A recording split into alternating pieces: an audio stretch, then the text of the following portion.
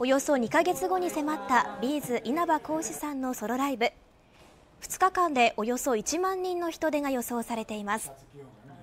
全国から訪れるファンを温かく迎えようと地元の B'z津山を盛り上げる会が呼びかけ県内在住のファンおよそ10人によるおもてなし隊が新たに結成されました。おもおもてなし隊は訪れた人たちを商店街などで案内するほか熱中症への対応や休憩場所の提供を行う予定です。ファンの皆様に津山ってあのこんななんか素敵な街なんだなっていうのを知ってもらえるようにあの私たちボランティアがしっかりあの何か伝えれることがあったらいいなと思って頑張りたいなと思います。少しでもビーズファンの方が集まってあの、まあ、ちょっとでもあの雰囲気が味わえるような形でおもてなしができたらと思ってますので。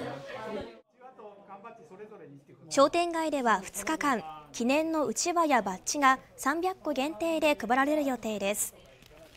稲田さんの凱旋ライブみんなで聞いちゃ